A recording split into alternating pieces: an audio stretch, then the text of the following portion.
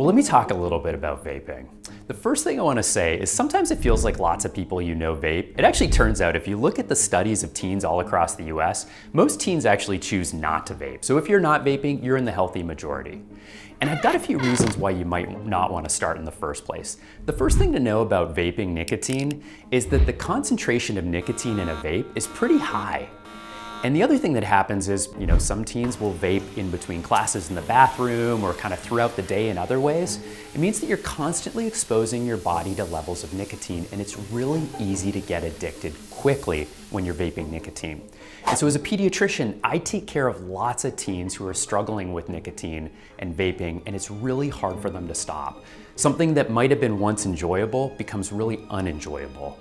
A lot of teens I care for are dependent on nicotine, meaning that when they try to stop and they go cold turkey, all of a sudden they get irritable, they get anxious, they start to sweat, they start to shake, and they can't concentrate, and it's really miserable.